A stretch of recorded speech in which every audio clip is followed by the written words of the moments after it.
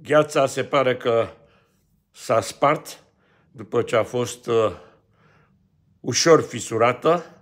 Uh, iată că a mai apărut și un uh, alt om de afaceri, fost uh, politician, Marin Anton, uh, care a fost la rândul său uh, presat și șantajat uh, să scoată bani și să-și cedeze o parte importantă a afacerii de același grup criminal organizat condus de Florian Coldea.